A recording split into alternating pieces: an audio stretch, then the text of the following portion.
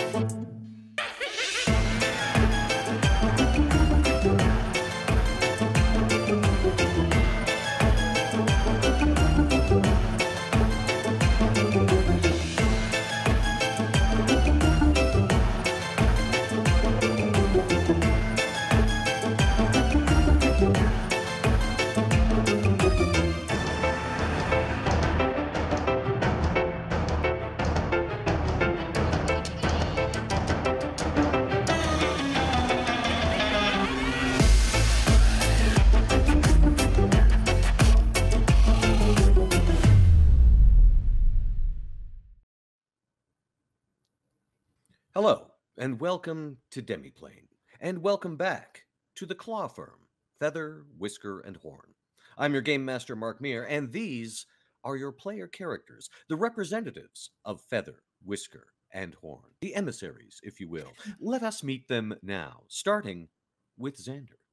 Hello, I'm Xander Jeanerret. Uh, you can find me on the internet at Xanderrific with two R's and one F, and I am very proud to be an emissary uh, as Cornette the Silent Priest. Uh, Tengu that uh, uses he/him pronouns presents as a blue jay, but uh, is has taken a vow of silence in praise of the god Sarenrae. Bluejay. Hi, everybody. I'm Bluejay. You can find me on the internet. All of my links are probably on my Twitter at bluejay underscore 712. Um, and uh, I am playing Violette, the garish thief. Um, I and my character are both she, her pronouns. And um, I am a Tengu that is Blue Jay flavored. Of course, how could I not? Um, with a swashbuckler which I'm very excited for this episode because there might be some um, acts of daring do or the exact opposite. Some buckles will get swashed. we can only hope. Uh, Jody. Hi, I'm Jody Houser. You can find me on the internet on Twitter at Jody underscore Houser and Instagram at the Jody Houser. Uh, I am playing Hortense Pricklepaw, who is a magical cat, uh, not a jellicle cat as far as I know, but uh, she is a cat folk uh, magus, and uh, she's not happy her friends are getting hurt right now. Uh, speaking of friends who are getting hurt, Erika. Hi, I'm Erika Fermina. you can find me across all social media at A Style Pixie. Today I am playing Calla Lilly, your ribbon adorned tiefling summoner, basically a little Disney princess with horns, and I'm hurting really bad. Oh, and our pronouns are she, her. And Aliza.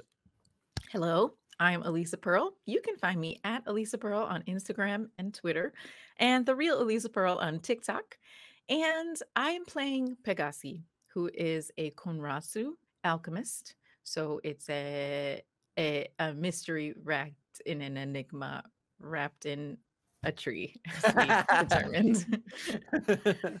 uh, oh, also, I'm she, her pronouns. Pegasi is she, they, they, she pronouns.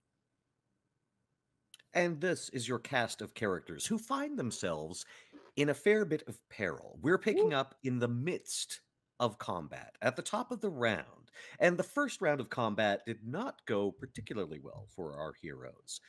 You all, as mentioned, are the representatives of the law firm Feather, Whisker, and Horn, sometimes referred to as the Claw Firm. You were to deliver an item to a goblin by the name of Scudge, who is currently at your side in this battle, having just buried a rather ornate goblin weapon into the chest of one of his three brothers. The three brothers stand arrayed against you in a farmyard. We're currently frozen uh, in this frame of battle. As mentioned, Scudge has just attacked his brother Scorch. Uh, the blood is flying in the air. We s- currently see several of our heroes wreathed in flames, having just been on the receiving end of a burning hands spell. arrows are flying, and there are some wounds that might need to be tended to as we begin our second round of combat with Calla Lilly. All right. Um. uh, um. uh, I'm trying to remember.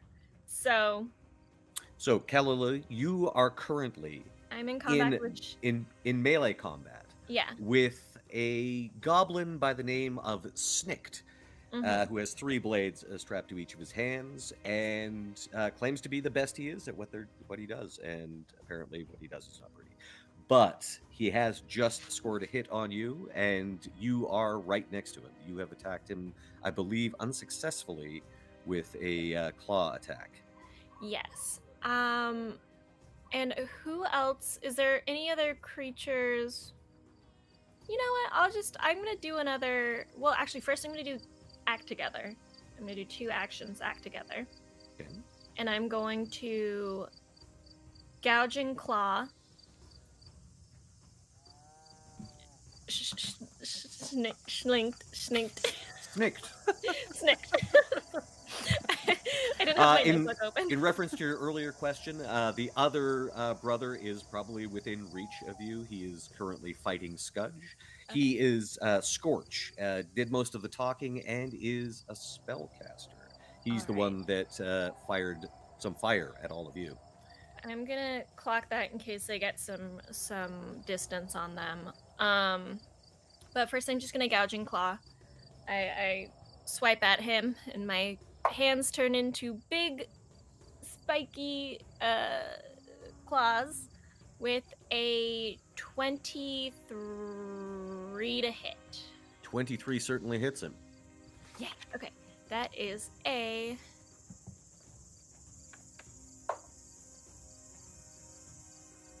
I'm gonna do uh, five points of slashing damage, Mhm.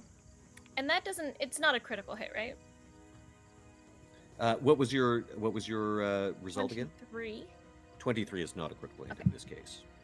and then um, I believe my my Eidolon Shimmer is is attacking some other goblins. Correct? Yes, over by the trough. Uh, They have just been sprayed by acid by the breath weapon. Um, I would like to.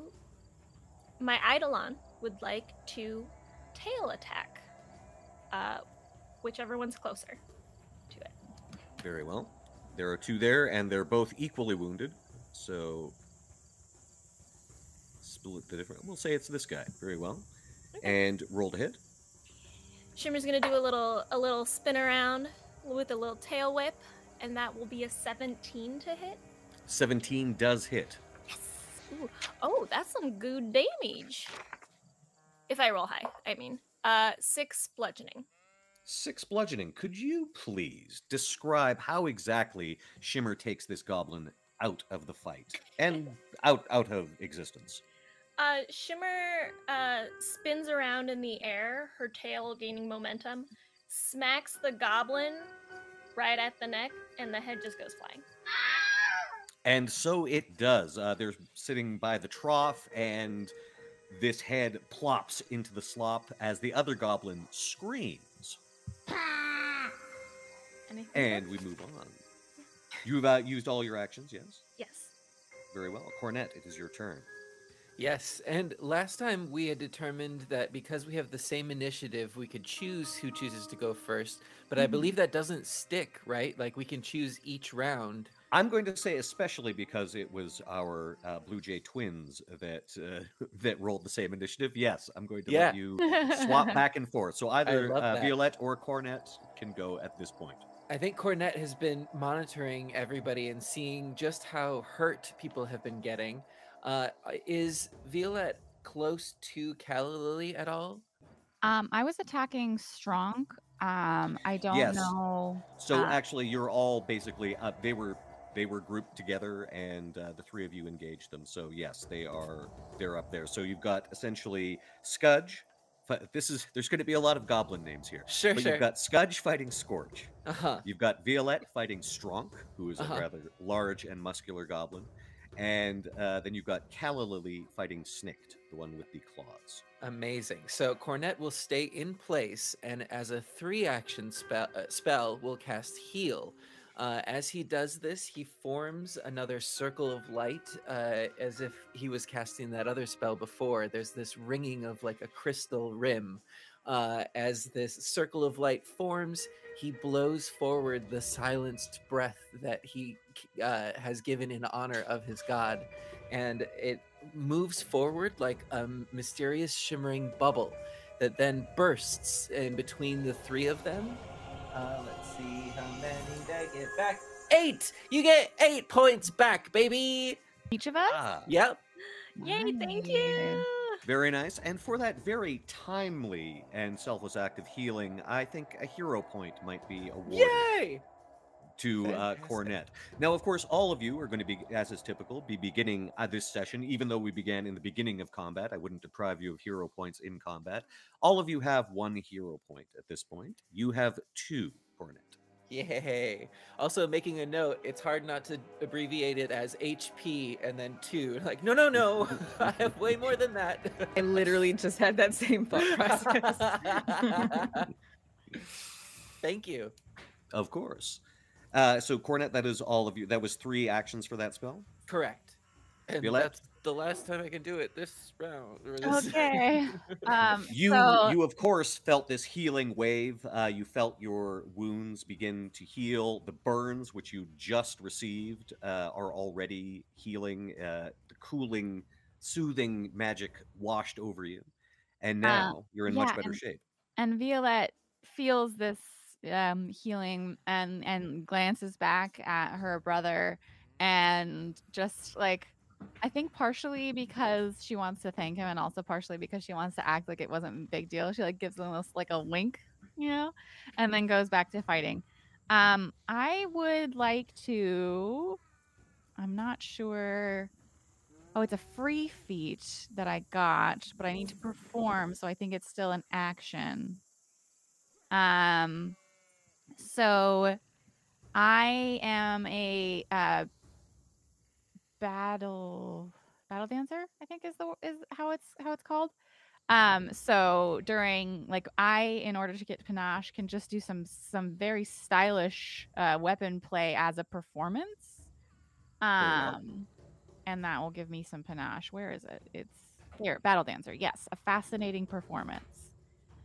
Fantastic. I- And that is that's one action for the performance roll. Yes. Um, and I have to do a performance check versus the will DC of an observing foe. Um, Very well. so I shall perform. And what she's doing is just she has her rapier out, she has her very fancy um, cape, and she's intentionally kind of trying to very quickly like move the rapier around the body of um, Strong to just like almost hypnotic, like very quick movements so that he kind of just gets really thrown off. That's that's my goal. Is so we will see. Very well. Let's see how it goes. I got a one. Plus five Hmm. is six. But you got Yeah. a hero point. Oh wait, I'm gonna use my hero point because I don't want to fail Wanna- this. Very well. Okay. Very well. I changed my mind. This die is no good. We're using a different one. You're probably going to get better than one. You will have to use the second roll, of course. using a hero point. Probably. We can't get worse than one. Okay, that is better than one. So I got a 12 plus 5 is 17, and it's versus a will. Very good. I've got his will here. You have successfully, uh, would you say, fascinated him? Would you say uh, Yes. impressed him? So yeah, um, it is a fascinating performance that I give, and then he is fascinated. Um, so I'm not uh, such as combat use to fascinate it, and the perform action gains the incapacitation trait. Um, well, so he is currently he is- incapacitated. Yes, he is incapacitated. Um, if you're an expert in performance, which I'm not yet, I can fascinate up to four observers. Wait, I am excited for that later. Um, okay, so now that I have fascinated him and he is incapacitated, now I'm gonna strike, and I have panache, so we're gonna attempt to we're gonna attempt to do a finisher very confidently. Um, so He has been wounded already, so there's that. Well. The finisher isn't doesn't necessarily have to finish them off. It's just the culmination of my show. I'm just saying, if the, if I recall the last time you did this, if you if you do similar damage, you probably will finish that's him. true. That's true. Let's see if I hit first. Mhm. Okay, so that's a 17 plus seven is a lot. That is Um, that is a hit, not a crit, but it is a hit. Okay, well, I'm gonna do a lot of damage. Oh, I'm sorry. Actually, it is a crit uh, because, of course, he is incapacitated. Uh, so yes, you Oh, will be doing double damage. Yeah, you'll be doing double damage on this. Finish him. The prophecy was true. Okay, this is uh, so much. um, okay, let me just finish her. Make sure I'm not doing this incredibly wrong. Okay, make a strike, blah, blah, blah. Okay, I think I'm correct. I have a lot of dice right now, so I just want to make sure that I'm not making this up in some way. Um, uh, confident finisher. Where is the this is not helping me. There's so much to do, so much to learn. Okay. Of course. No worries. But thank you to Okay. Pathfinder Nexus. Yes, that's definitely super helpful. Okay. So my usual damage on a rapier is 1d6, and I double that because I'm critting. Mm-hmm. And then my usual damage on a precise strike finisher is 2d6 added, so I'm do I'm rolling 66. Oh god, yeah. So I yeah. wanted to make sure that I wasn't bullshit. I don't think you. No, I. You know, if if this in some way circumvents the rules, I still want to see all this damage happen. 20 points of of uh, piercing damage. 20 piercing. Could you please describe how uh, Violette dispatches perhaps the most physically impressive of this uh, mini horde of goblins? So Violette during the first round was maybe like entering into the first truly fraught fray of her life. Um, I mean, she'd been in like bar fights and like alley brawls in her time, but I think it's it's a lot different when like death is on the line. Um, so she got thrown for a loop and maybe like clocked in the jaw and was a little unsteady but then felt the warming presence of Cornette's magic at her back and was like, you know what, actually, like, I've done this before. I'm good at this. And she, like, flared her cape and did her magnificent, uh, fascinating performance. And then um, just uses her rapier to, like, hit several. Um, I don't know if she studied goblins, but she's fought enough humanoid people to know where the dangerous parts are. So she just, like, very quickly like stabs some holes in um Strunk and then there's a moment where like everything pauses and then he just like heels over backwards um and starts bleeding onto the ground and so she um takes I don't know if she would yeah she'd do her cape is red for a reason. So she would take the end of her cape and like clean off her rapier and then like um like points it towards the sky and there's like a little bit of like light glinting off of it and is just like trying to make a confident like show like yeah look what i just did. I'm really great and awesome. And i actually still have one uh, action. So she's gonna turn toward um the next one in line i guess um because they were all like together i guess it would probably be is it the one erika's fighting or the or or scorch Uh, Scorch was in the middle and flanked by the other two, so Scorch is probably the closest one. Okay, so then she would turn towards Scorch and like um weigh her her rapier at him and I'll I'll give him a, a good one too. I can't I don't have panache, but I can still do a hit, uh, second attack. Yes, you can. You'll be at minus five on this because this is your second strike action That's of the turn. okie Um, I only get twelve. 12, I'm afraid you miss. Yeah, so she's just it, it's it's more of a look what I'm gonna do to you next kind of attack. Yeah, and certainly as soon as Strunk is perforated repeatedly by your rapier uh, and falls heavily to the ground, rather large for a goblin, uh, uh, Scorch, his brother, the caster, uh, does let out a howl, like "No, strong brother!" And uh, Snicked, uh, who's in combat with Calla Lilly currently, does also glance over and just clashes his claws together and looks to the sky and howls, "Gene!" Uh, and the, the other goblins sort of look at him inquisitively for a second. Uh, but you do also hear lots of shouts from the goblins that are up on the barn. Uh, they're like, "Ah, Strunk, no!" Uh, you get the impression that Strunk was uh, perhaps the toughest among them, at least physically. And uh, yeah, so that that does seem to have elicited the re uh, the requested uh, emotions among the goblin. Hortense, it is now your turn. Uh, so Scorch, Scorch is still like standing and able to mm, say stuff. So he's like not on his way out just yet, right? Uh, Scorch, you say? Yes. Uh, no, he does. He has been wounded, and in fact, uh, he just took a hit from his brother, who is wielding that sword, or dog slicer, I should say. Uh, but uh, he does. He's he's. mm, he, he looks like he's worse for wear. I will say that. Okay. Well, he he's the one that attacked her friends, and he's also the one that has made the most threats against the firm's clients. So. Uh, Certainly, and he did like he hit three of you, I think, with a uh, big ol' burning hand spell. Yeah, so Hortense, who has gotten just really poofy and angry at this point, and she's still a little ways back because she hasn't advanced at all from Mhm. uh, when the fight started. But she uh, points her crossbow at Scorch, but also starts uh, murmuring some magical words under her breath, and light Mhm. gathers around uh, the crossbow, and she is going to use Spell Strike. And since I have uh, Starlight Span, I can use a ranged weapon. So she is going to be pairing Gouging Claw with uh, the arrows. Okay. So, uh, assuming Pathfinder Nexus is correct, which I assume it is, um, I actually roll- Always, always. I roll for the crossbow attack, which is 13 plus 5, so that's 18 to hit. That does hit him. Yes. Uh, so I, and then it's the damage for uh, both. So for crossbow, it is a d8. Uh, that's a three. And then uh, for the gouging claw, it is 1d6 plus two.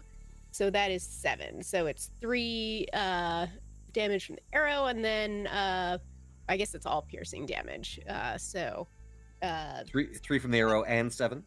yeah, so 10 piercing damage. 10 piercing damage total. Could you please describe how exactly Hortense dispatches the fearsome Scorch? Uh, so as the uh, bolt flies from the crossbow, it this magic just expands around it, and it looks just like a cat claw, but with like almost daggers as claws, like way too big for a normal cat. And so, as uh, he's yelling "strong," uh, the the bolt just like goes right through his throat, and the claws just go right into his face. So his uh, scream for his brother is Bit of a Three Stooges moment of the, the yes. through the eyes. Okay. he he was sad to see his brother die, so now he gets to join him, and it's all good again. And so it is. As One more action. of So, course, what would you uh, like to do I'm going to uh, concentrate and recharge the spell strike. Uh, as you do this, the body of Scorch hits the ground, and Scudge, who'd been fighting with him, uh, horks up a large loogie and uh, spits it onto his brother's corpse. As we move on to the goblin's turn, having seen the biggest one of them and their de facto leader uh, fall, also a teeny dragon just took off one of their heads. so definitely the uh, the one by the uh, trough is going to flee. Uh, Snick seems to be sticking around, but you do see uh, the ones that are on the barn. You see like those heads just sort of pop down, and you do hear like the running of bare feet on the, the roof of an old barn. It looks like they are t- they are hightailing it, except for Snicked.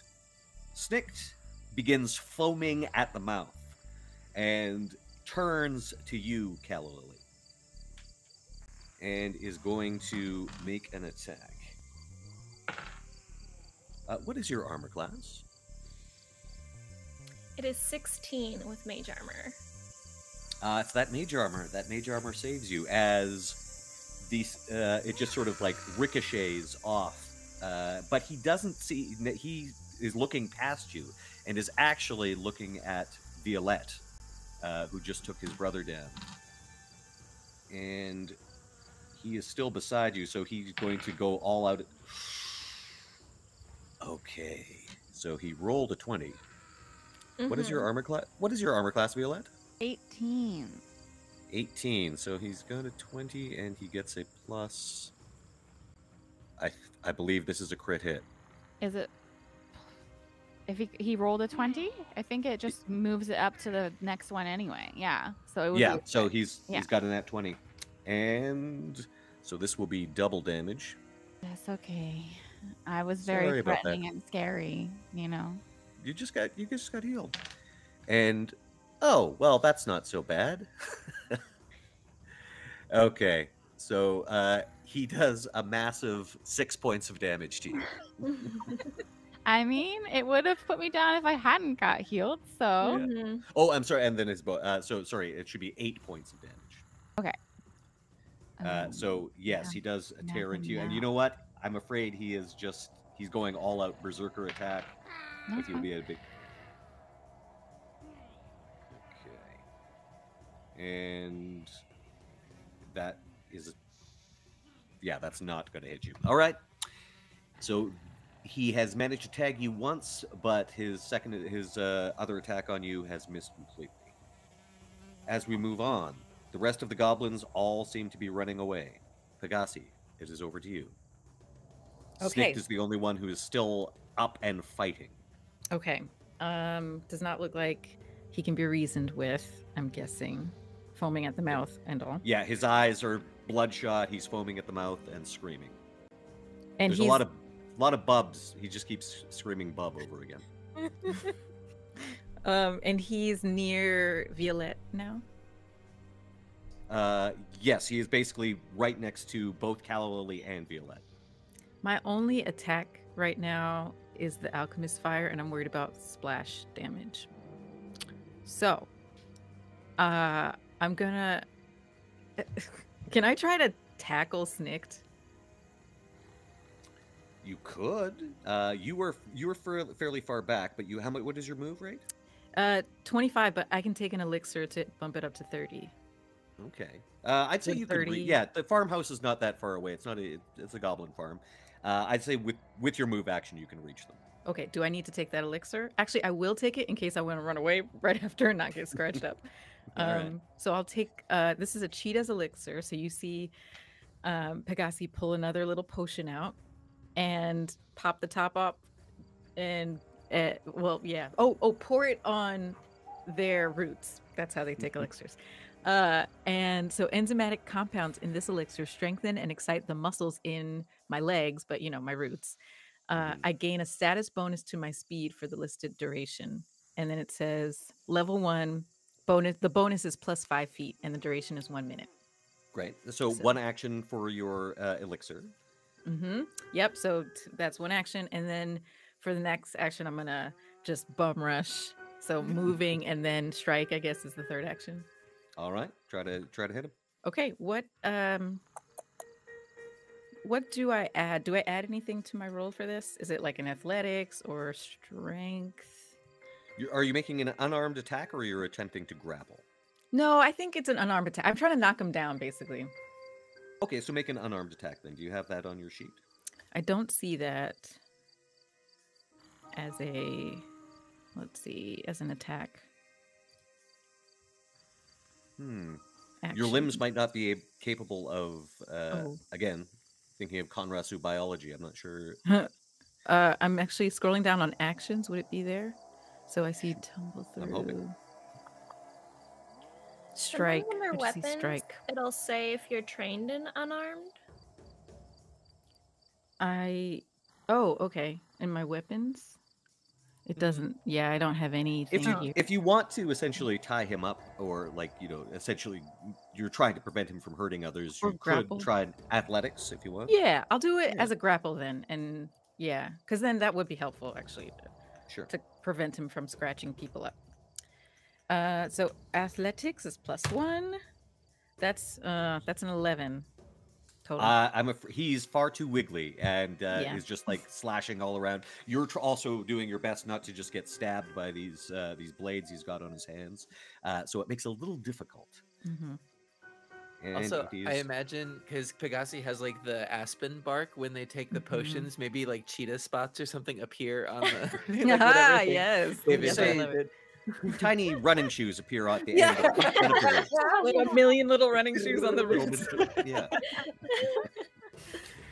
Uh, but yes, you uh, you do have that ingested, so you do have the, the boost to your movement still in effect. Okay. And ooh.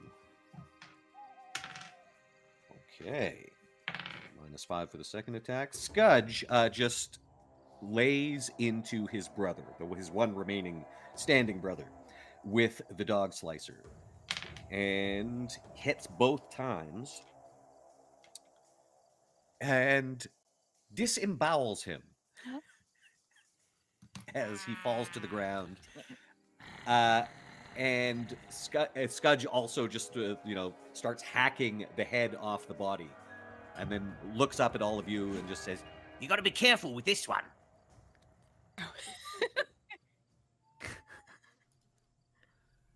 uh, and then, as you hear the fleeing sounds of the rest of the goblins, and Scudge looks around wildly, we did it. We won. And we exit combat. Yeah, as soon as uh as soon as everyone is is done, um Violette just uh has some kind of like post battle um I don't know if it's a series of flips, but maybe like an elaborate bow that she's practiced um for, for for the moment when she would win at everything obviously. And so she will using her new cape um uh finish this elaborate bow and then sheathe her rapier and just be like i always knew that we would win Very nice. And actually, for that very impressive kill of uh, of uh, two of our bosses, I'm going to give hero points to both Hortense and to Violette. And Violette, if you would like to make a performance roll to Oh, yes, uh, every time. see how impressive this bow is. I'm sure very impressive. But i'm let's see sure how impressive. Extremely um it is fi- uh, eight impressive i'm tired it's been a long day. I, you know Uh, like- like- nevertheless, even with an eight, you get you get what might be considered pity applause from Scudge as he sort of like puts the blade under his arm. He's like, All right, all right. Nicely done there. Taking out Stronk.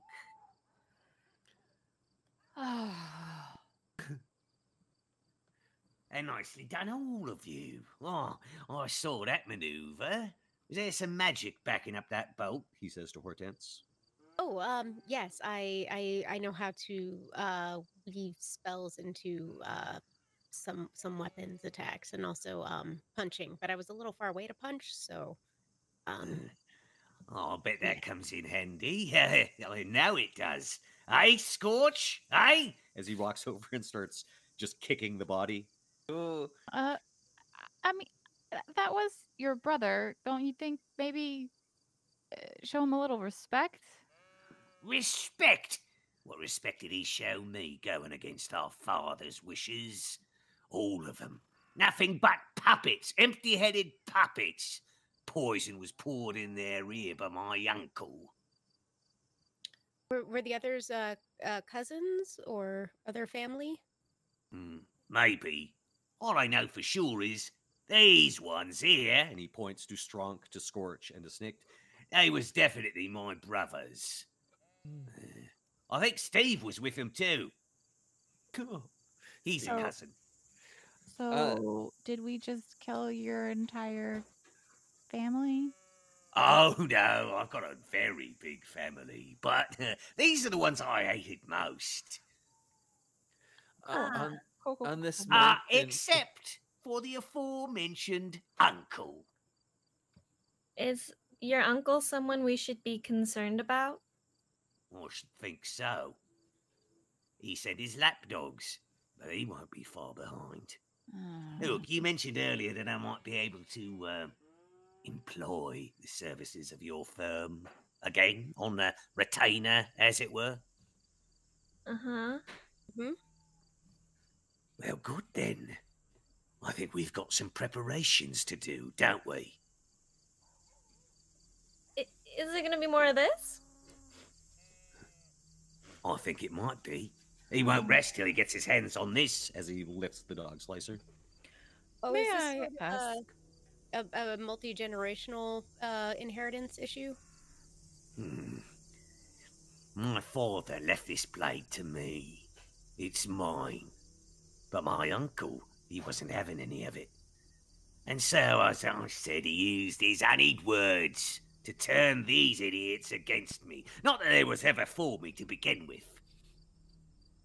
May I ask, what is the significance of this blade besides what you have already told us? Is there a uh, deeper mm, power to this blade? Is there a reason why your entire family would begin turning and infighting over this one single piece of metal? My father was a great warrior. I think it's an honour to hold his blade, or even hang it above my mantle. In any case, it's mine now, and I do with it what I likes. They can't have it. They can't have what's mine. Are you under the influence of this blade? Is it uh, persuading you psychologically in some way? I don't think so. I feel the same way about all my things.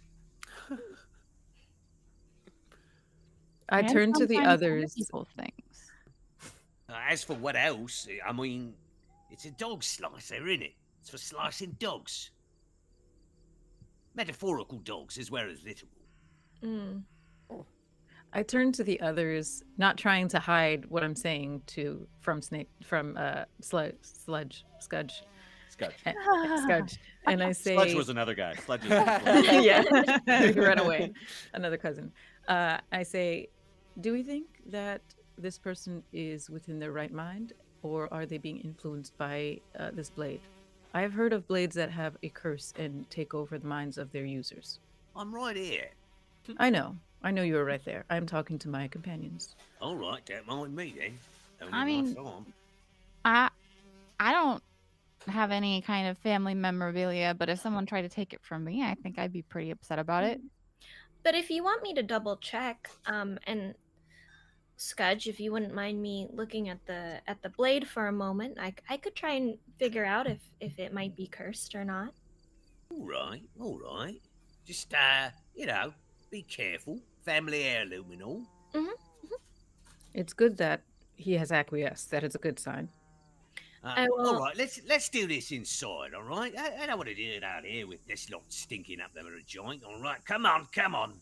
As he gestures back to the farmhouse, some of you have been within it, and uh, just sort of unceremoniously kicks open the door and slams the uh, blade down. He's not treating it particularly gingerly. He sort of slams it down on the table. It's like, I'll get some more of that beer. You like that beer, didn't you? Mm, yes. it was not. It was not terribly good. beer. Very, very warm as well. Yeah. So are you just gonna leave your brother's corpses on the ground? Actually, with, at, with Violette bringing this up, Cornette is actually going to stay outside of the farmhouse and tend to the bodies uh, and perform some rituals for Sarenrae. So even if they may not be respected by this family member, they're at least passing through what he believes is an afterlife. Yeah, no, Violette also would be like hesitant to just leave these people on the ground. I mean, there's a code amongst cool fighter people. Um, that you how you can't you you got to respect the people you down or else, you know, like what's the whole point? Um sure. Uh, Scudge makes some. He's like, Ah, they're not worth it. We can clean them up later. Leave them for the crows. You're fine, fine. I mean uh, so he doesn't seem to stop you. He's he's like, Yeah, so I'll stay out with Cornette, and I think part of it is also like if I was having a fight with my brother, I wouldn't want to treat him this way. So like, not that she would ever have a fight like that with Cornette, but um, yeah. So um, yeah, she'll stay out and like I don't know, start digging a grave or something. mm-hmm. I don't know what. Wait, don't bury him there. I- Don't dig up my yard. Wait, think- maybe, maybe Kengu. head back out. maybe Kengu do um It, yeah, more ceremonial. uh like a like a pyre sort of thing, like to the sky, as it were. Like maybe I mean, that's there's always there's always sky burial. Yeah. Which is just which is what he said. Just let let the birds eat them. Oh yeah, yeah. No, Yeah. no, I I don't know. Well, I'll ask Cornette. Cornette will know more about that. There's Sure, a whole so you're- ritual.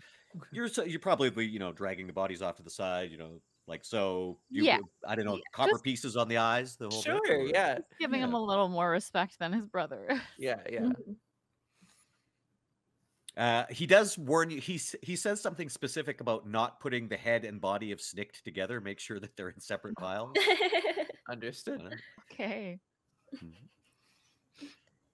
And uh, meanwhile, in the house, as mentioned, he's sort of busying himself, uh, getting some more beer. If you and none of you wanted, those of you who had it before, it was that yeah, it wasn't very good beer, very hoppy, and it was kind of it was oddly viscous for beer. It was uh, yeah, it was not a pleasant experience. yeah. Uh, so he's pouring himself a couple of glasses.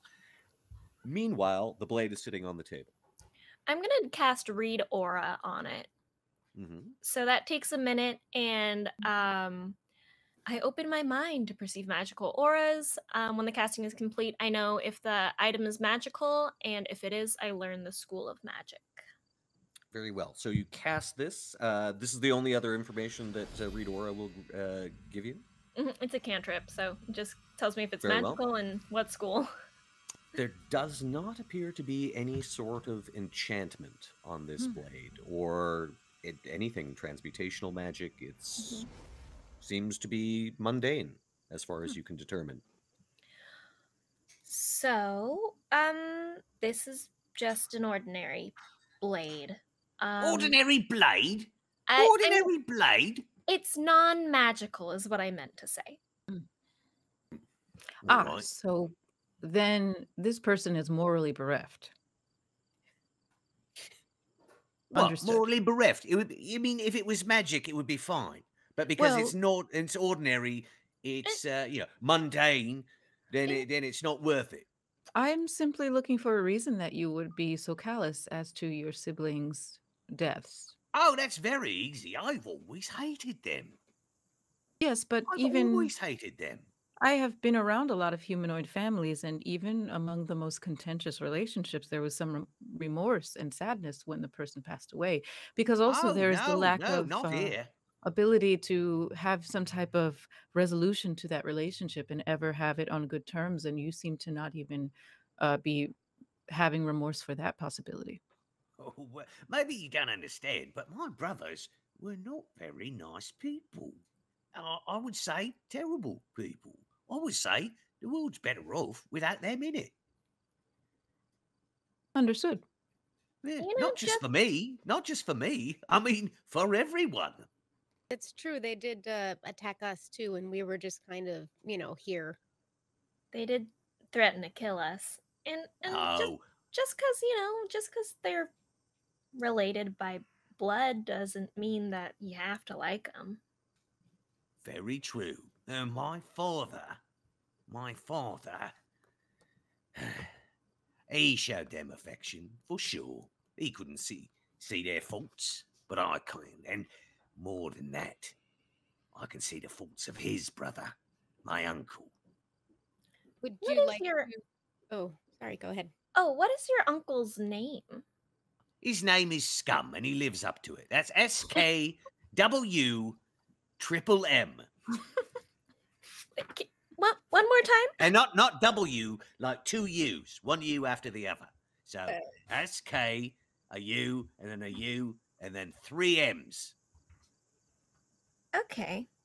Do you want to um file a lawsuit against your uncle for the damages and the emotional distress of having to uh, murder your brothers? Well, you could do that. Um, I mean, that, I think that would be if you wanted to hire the firm to handle it. I think that would be the legal, uh, approach, the best legal approach. And I think you have a Oh. self-defense case on your hands because That's they right. came to you. I onto was your in my property. home. I was in my home. Mhm. All Mhm. right. All right. Yeah. Yeah. I like it. I like it. Uh, and uh, what? How many bits of them will they cut off for doing that? Um, That's I what the law neither- does, right? I'm not a lawyer, so I can't um say for for sure. Right. I mean, he may just have to pay a fine. But I don't know. It, it would go to you. I think you would get um Remuneration. goods or yeah. Yeah, it sounds nice. Uh, of course, I, I can't really uh, sue him or whatever it was he called it if, uh, in fact, he kills me before I get the chance. So, uh, my more immediate need is uh, not so much for the services of uh, your employers, but your services tonight. Like protection? protection. Either you take me to the city, or we make a stand here. He'll be coming for it. He's not going to take this line down. Hmm. Which do we prefer? Um, should we talk to Violette and Cornette about this? Yeah, I think this is a, a mm-hmm. decision we should all, you know, make together. Yes. Mm-hmm. All right, all right. Any beer? I think I think we're only allowed to have one drink while we're on the on the clock. I'm Oh, driving, course. so um, Very professional, very I'm gonna have to professional. pass. Yeah. Conscientious. It's all right. I've got a soft drink for your designated driver. Uh, and he For, for pulls horse. forth a jar of some kind of sludge that he pours into a wooden cup. Here you are.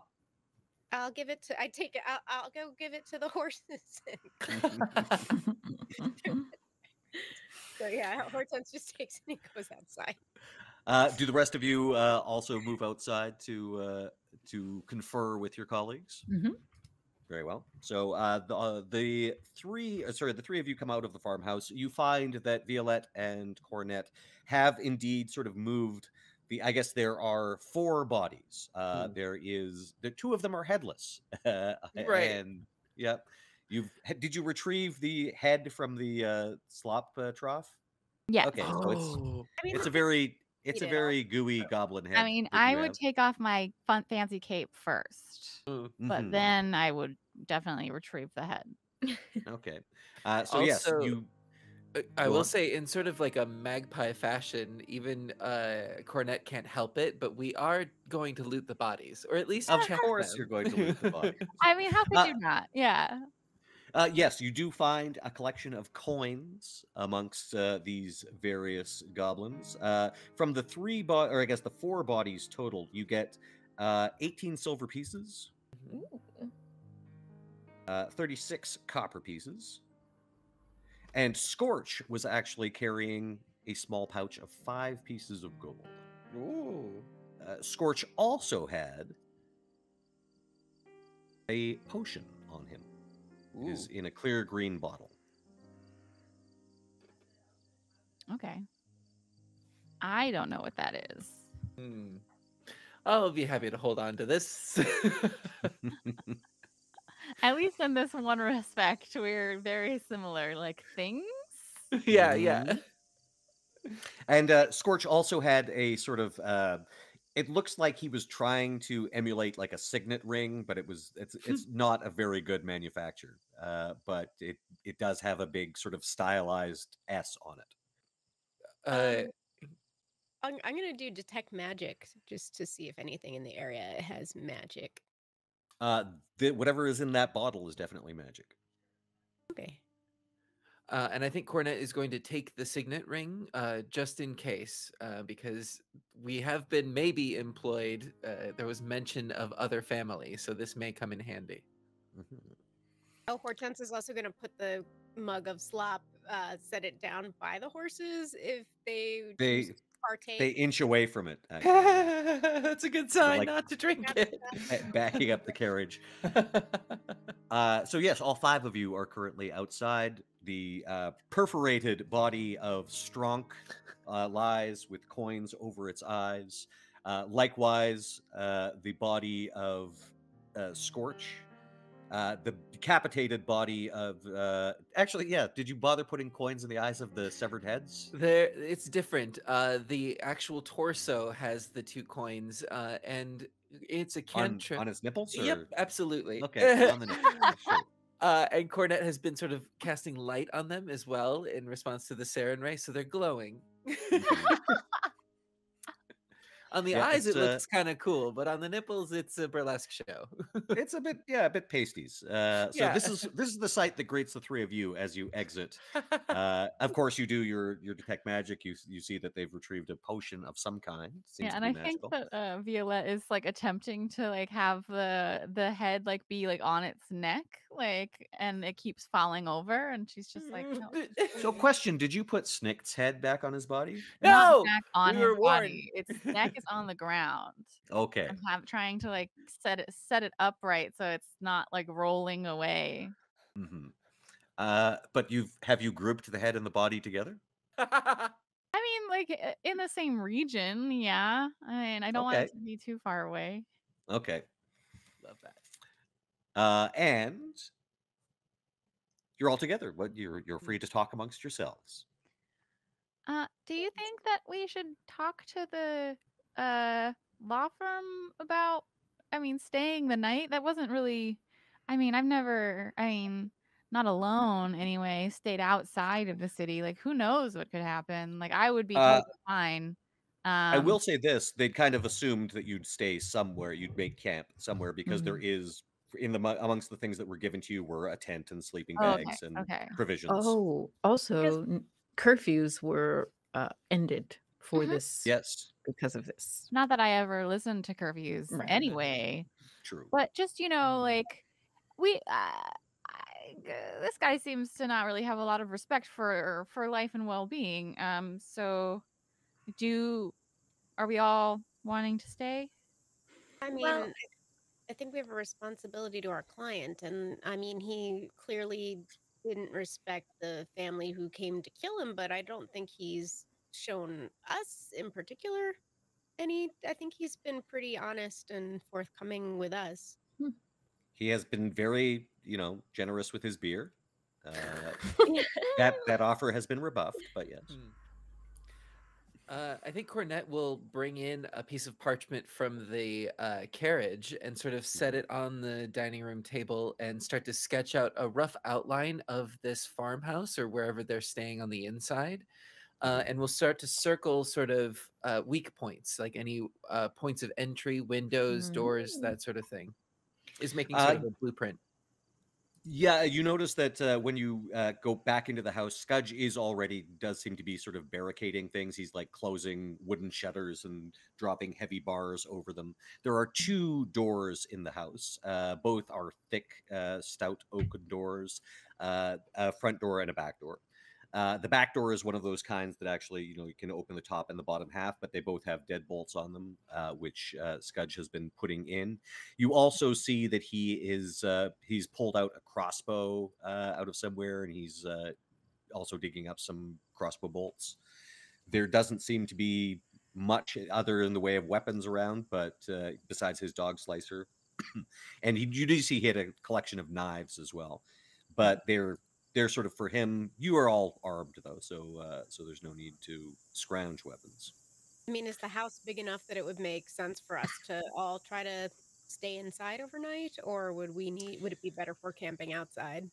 Uh, you should be able to stay in the house. Uh, as mentioned, it's uh, it was a human farmhouse that uh, Mhm. he purchased, so it's not it wasn't built purpose built for goblins. Mhm. He actually has like a number of sort of you know wooden staircase things and little steps to, to help him reach counters and things like that. Uh, once he's done drawing this diagram and sort of mapping out the place, he'll turn towards Violette, and uh, there's a common signal or a gesture that he does in "I need to rest." Mm.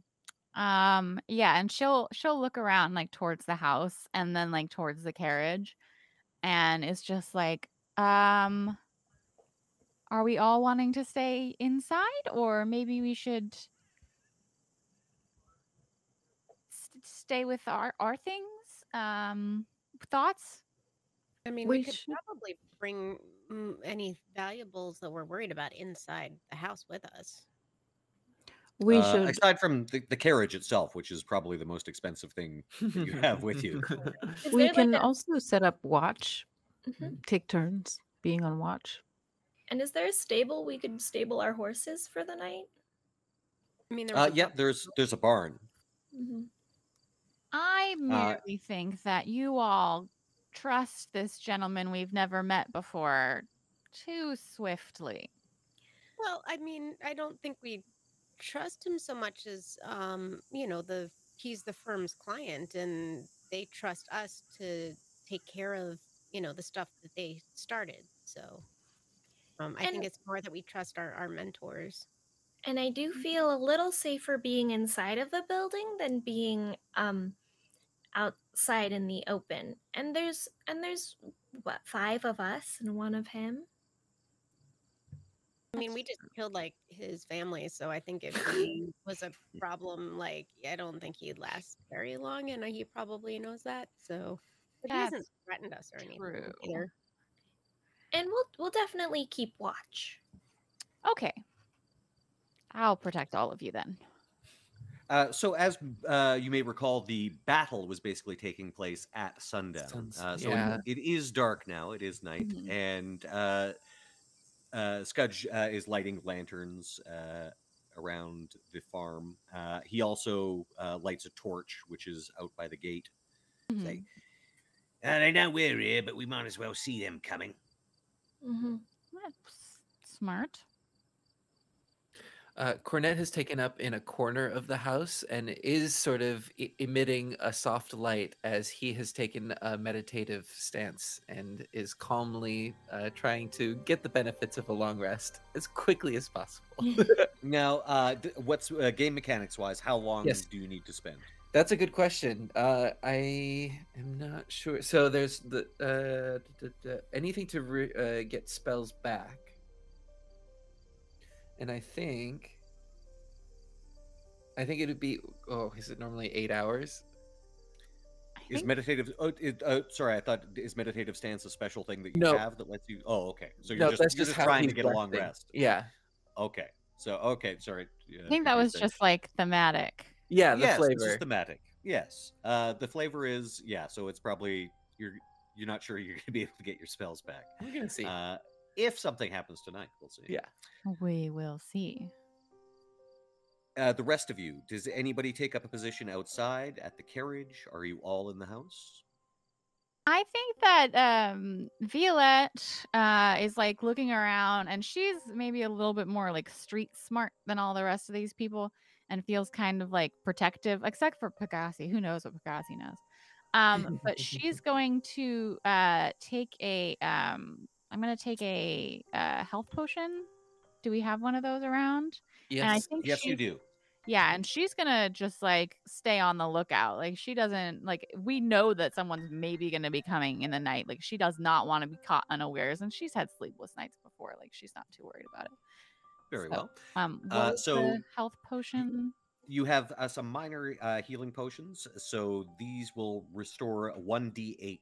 Mhm. Uh, and this was part of the little first aid kit that you were granted by uh, the partners. We Uh, have four, and you're taking one. I'm taking one, yes. Okay. And hoping that I roll high. I got a six. Yeah. nice, fine. nice. Six, six hit point back, back to you. Uh-huh. Uh, does anyone? Did you guys make any attempt to identify uh, what you found uh, on Scorch, or do you have that capability? I can give it to Calla Lilly. I can read its aura. It's magic. And what school of magic? Uh, this would be, I believe, uh, necromantic. Ooh. Oh. Whoa. Um, would I be able to do an additional Arcana check to see if I if if anything sounds familiar? uh, sure. Give me Arcana. oh, that is a nat twenty, so that is a Ooh. twenty-four. Ooh, yes. Uh, you suspect that this might actually offer some sort of protection against uh, the undead. Mm. Hmm. I think I've read about this before. Um, it should, you know, protect you from the the the undead. Are there going to be undead? I maybe you know, uh, Scorch was just nervous about undead, but We- um, it's not bad to have around. Maybe we should move that head and body further apart. Is that something to be concerned about? Uh, uh, Scudge seemed to think so. Yes, Oh. Scudge did say the Oh, head and um, body should, of Snicked could uh, not should not be put together. And that um to be careful while he uh, of that one. Okay. Yeah. Um she'll just like gently I don't know, move it a bit farther away. Full croquet mallet, line up the shot. We could just swap the heads because you know, like, two heads and two bodies, and we could just swap the heads. I mean, Is that Sure. allowed? sure. I mean, I don't think they're gonna complain about it. Um, Y'all seem to be real cavalier about these corpses. I'm just nervous about them coming back. yeah. Yeah, where did you end up putting the corpses? By the way, you had them at one side of the farmyard. Is that where they stay? Do they get moved to the barn? Where are they? I mean, I just think like out of the way, I guess. yeah, still out in Um, that woods area, but yeah. away from the house. Very Like I don't know if I would know any better where to put them because it's not my courtyard. Uh, Uh, Scudge keep, just keeps saying, Leave them for the birds. Leave them for the birds. Essentially that, but away from the house. uh, Hortense would also like to move the horses and carriage into the barn just so they're not, you know, out in the open. out in the open. Great. And uh, now you mentioned wanting to post a watch. Uh, Mhm. Where is, just uh, give me again the rundown of everybody's position and who is on watch when. Well, Pegasi can only heal. It looks like uh, Pegasi has sunlight healing. So Mhm. enter a meditative healing state as a 10 minute activity when exposed to direct sunlight. It is Mm. night. Oh, Yeah, exactly. So Pegasi, uh, you know, Pegasi took like five damage, but Pegasi's kind of tanky, so they're fine. Uh, so Pegasi could be on watch all night and then heal in the morning. Oh. Yeah, I have. Yes. Do uh, do four- I took four Conrasu do Conrasu actually sleep per se? I don't think so. a question They just have the that agent. meditative meditative Yeah, healing. Yeah, yes, just in- and it- meditative sunlight. sunlight. healing. Yeah, exactly. Okay. So I Very well. could, uh, yeah, I think I could be one person on watch all night if pe- other people want to like cycle in and out. Very well. Where do you wish to post yourself? I think Mm. Pegasi would do a little bit of a circuit, but um, throughout the night, kind of be posted up for like 30 minutes in the front and then rotate 30 minutes, maybe the four sides, four corners of the house. hmm Uh, the property is, of course, so you got the farmhouse. The property is fenced. Uh, there is Oh, good. a rather large uh, uh, hog pen uh, there with with some uh, very unusually large hogs uh, and their troughs and everything like that. And then you have the barn. So and the privy. These are the main structures. Mm-hmm. Yeah. So, yeah. Okay. So I think Pegasi will walk the perimeter of inside the fence.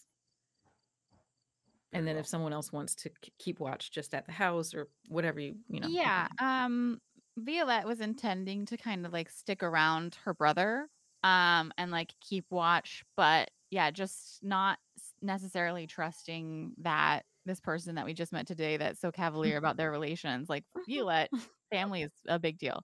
Um, so she's not trusting that they are just gonna like do whatever. So she's gonna stick around Cornette and like maybe the group and keep watch there. Um, and try not to fall asleep. She's Very well. She's tired. Uh, she's, she's And we know what Cornette's doing, trying trying to meditate. Uh, what about uh, Calla Lilly and Hortense?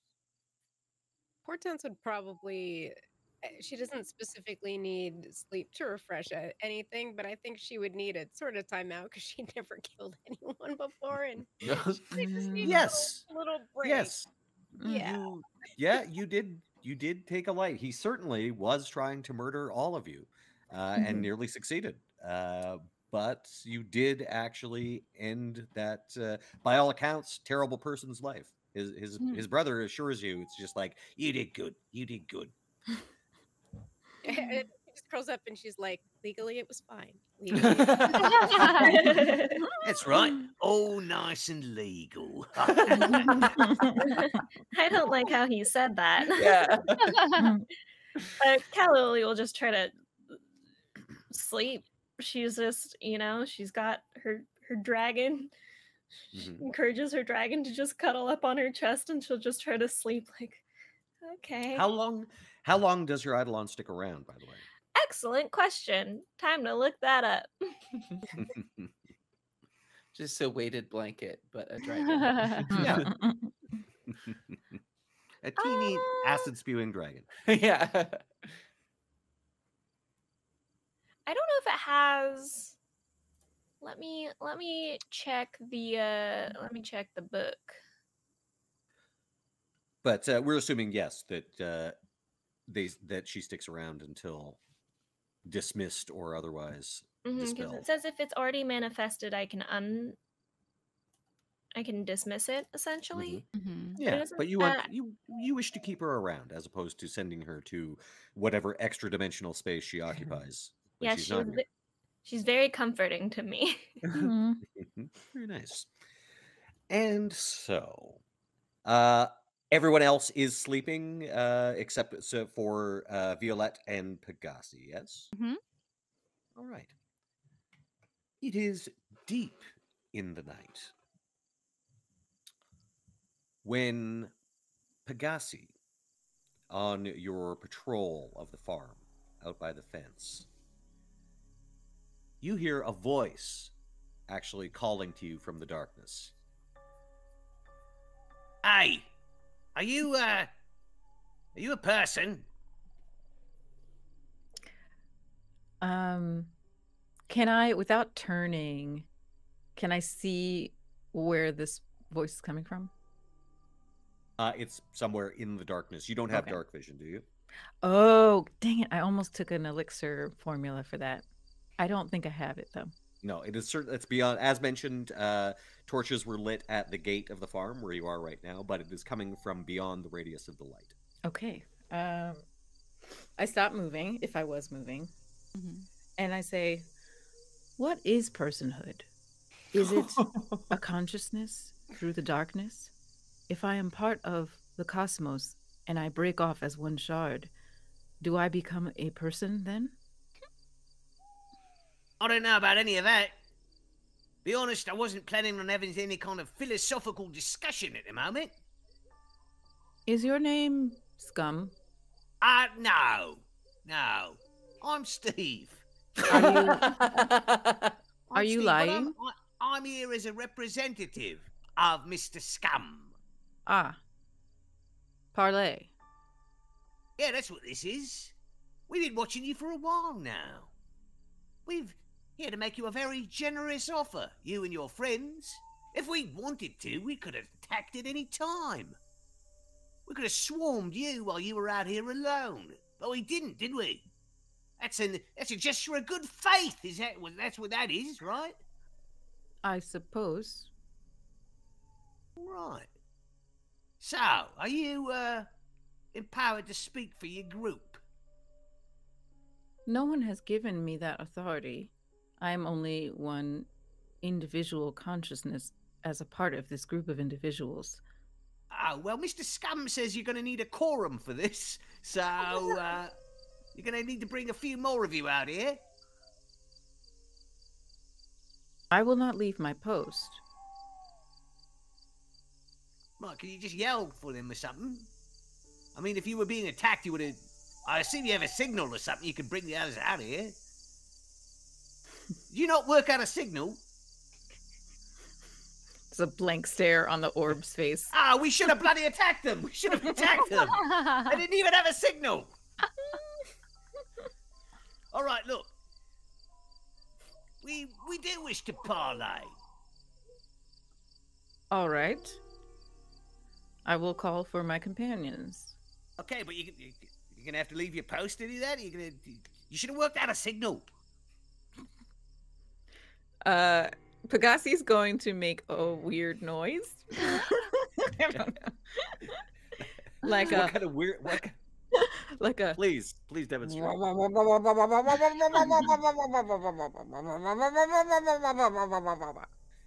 Okay. And, What was uh, that noise? So there is a weird noise. I assume you're doing it as loudly as you can, like yep. at the top at the top of your lungs, even though you don't have lungs. Uh, so let's see. So Violette, you did say that you were up and trying your Yes. best not to fall asleep, and you I was were trying my best. you were dozing because it was boring, and you were sort of falling, and then you hear this sound. Uh, she just jumps forward. Oh wait, no, uh, we need to hear the sound again. You hear Oh, oh, right. this okay. sound. You hear Yeah. this sound.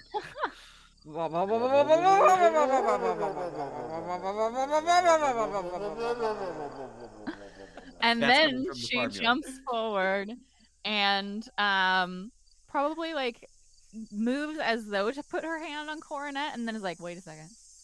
I should check what that is first. And so she goes to the door and looks towards where she knows that um Pegasi was stationed and i do have um dark vision uh low light vision sorry Mhm. um, so I will um move towards where Pegasi is and does like the noise get louder? I'm assuming that like I can tell that it's coming from her. Uh, yes, yeah. It's uh what are you do is there any accompanying physical motion to this noise? Yes. Uh, her Like, wait- branches are definitely like flailing. Her tr- her leaves are shaking, and she's kind of vibrating too. It's kind Yeah. of a vibrational sound. Okay. Yeah, so there's the you know the wah wah wah wah, uh, but there's also like the sound of shaking leaves and yeah. So I'm going to sneak. I'm going to try and be stealthy and quick well. and get to um get to the region where Pegasi is because this is a noise that I've never heard before, but I'm assuming is meant to be some sort of alarm. Um, so I'm gonna sneak over and try and like if someone is attacking, get the one up on them. Very well. Please uh, make that stealth roll. Just looking up every everybody. Ooh, he's got a high perception. All right. Oh dear. I totally envisioned the wacky inflatable tube person. Yes. Yeah. That's, that So would- I I yeah. rolled a 17 and I have a plus seven on stealth. So Nice. You rolled a seven. You rolled a sorry what? Um, 24. 24 total. Yes. Right.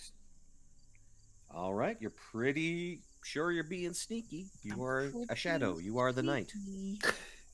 I'm a pretty sneaky lady. I, are you wearing your garish cape?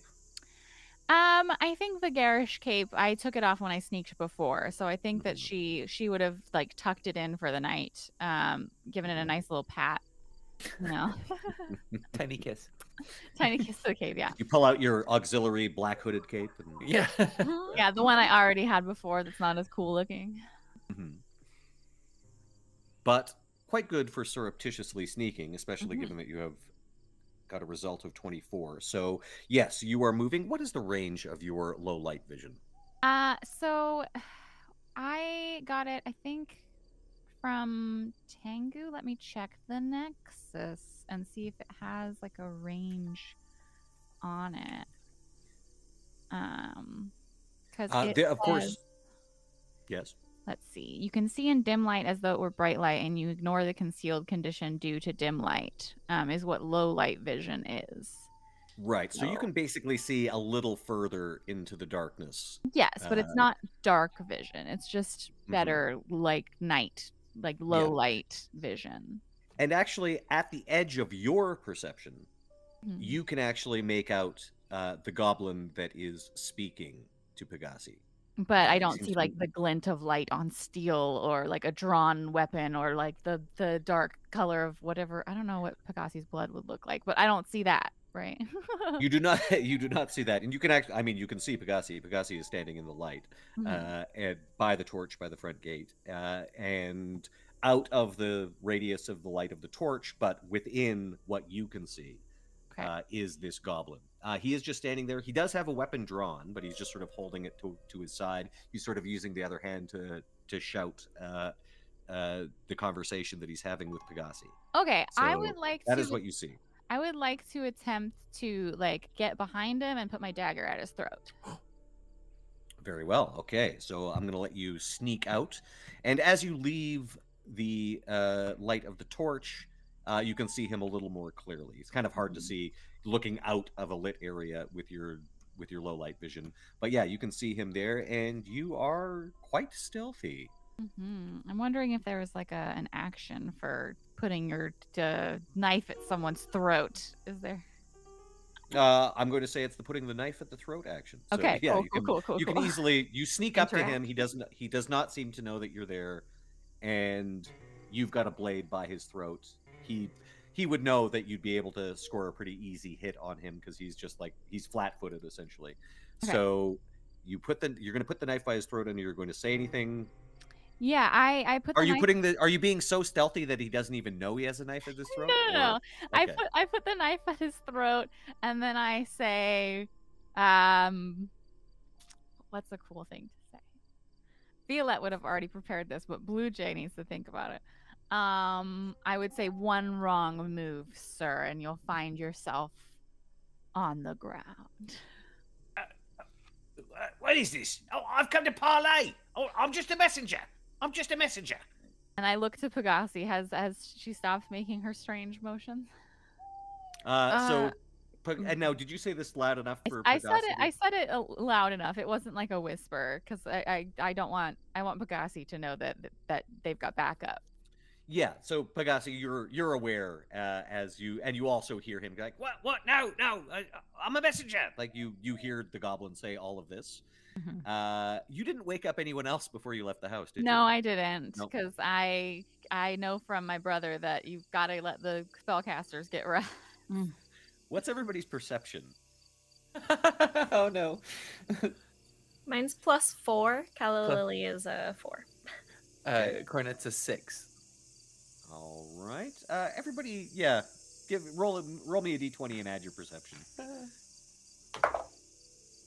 Okay. Twenty-four. 24. You did you you do do hear that sound. In fact, I think what you did hear was yeah yeah yeah. Uh, and I think uh, Violette left the room far too stealthily for you. Or no, Sure. did you get it? You, did you get a 24 and you was a 24 stealth, right? I was a 24 stealth, yes. Oh yes. yeah. Uh, so you actually heard. Perhaps no one else would be familiar with this noise, but you're like, "That's the sound of my sister sneaking out." Uh, Oh, every night actually- for the past forever. Uh, yeah, yeah. exactly. Uh, Calla what were? Lily. oh, Sorry, Oh, I was just gonna ask. I rolled a 16. Thank you. And Hortense got a, a nine. She is a sleepy kitty. Being sleepy. Yeah, Hortense Hortense does not wake up. Uh Calla Lilly, however, you wake up to the sound of No. I'm sorry, I can't do it as well. Uh, Lucy, No, you please do it again? the universal sign whoa. Yeah, it's much more like that. It's much Yeah. more Yeah. like that. hmm definitely. It's like a sinking engine. Yeah. A, Mhm. a window I could look out of. Yes. Yeah, most definitely. Alright. Uh, it's a one-story farmhouse, and you're basically you were sort of probably all like bedding down in the main room or whatnot. Mm. Mhm. hmm And um, so I'll look out the window, and I have dark vision as well. Uh, uh, you have dark vision or low light? Dark vision. Oh. Okay. Yeah, you can probably see to well again, the it's it's only within a certain range though. Yeah. So you basically see Pegasi uh, waving and undulating at the gate. Then I'll wake up. I'll wake up Hortense. Hmm, It was And- it was self defense. Oh. uh, And uh, meanwhile, you also see as you're sort of going to wake up Cornette, you see Scudge sort of come out of pulling aside the curtain in front of his bedroom and he's like pulling on a pair of pants and doing up like the one suspender that holds his pants up and he's like What? What's going on? uh, Meanwhile, outside, Um, you, yeah, you've so got this goblin. Yeah, so does Pegasi like stop with the alarm when I um call out? Okay, so Yep. then like n- basically being like, okay, so whatever fracas that Pegasi was alerting us to uh is is over with me like uh she will um just like push him a little bit forward like more into the light and then um like uh not drop the knife, but just like, you know, step a little bit back to give him a little room and says, Speak your piece. Uh, when you put the knife to his throat, he did drop that weapon that he was holding in his hand, and Mhm. he, he had his hands up like this. And you Mhm. say, "Speak your piece." Like, Well, that's what I was trying to do, wasn't I? Well, Right. I'm, I'm here to parlay. Well, there's two of you at least. All right, all right. Is that a quorum? I'm not sure. I'm not exactly sure what percentage of a group constitutes a quorum. Is it over 50%? I feel like Well, at that, In we which case, we do not. We have not reached the threshold as yet. We sleepily pull up behind them, just like wiping like our Oh.